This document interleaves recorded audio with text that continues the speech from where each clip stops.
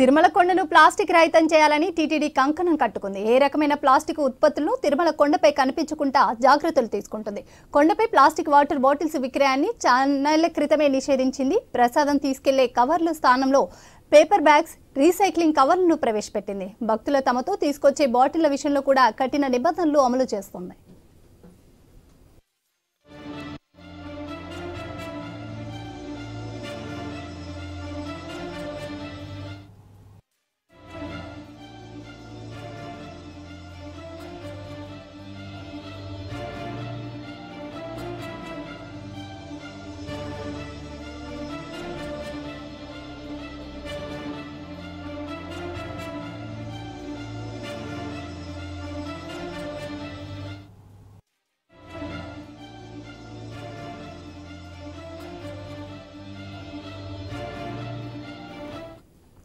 తిరుమలలో టీటీడీ ఆధ్వర్యంలో copper steel water bottle విక్రయాలను ప్రారంభించారు. భక్తుల ఆరోగ్యాన్ని దృష్టిలో ఉంచుకొని ఈ బాటిల్ విక్రయం చేపట్టినట్టు టీటీడీ తెలుపుతోంది. తిరుమలలో అందుబాటులో ఉన్న బాటిళ్ళ ధర కాకుండా టీటీడీ ప్రకటించింది.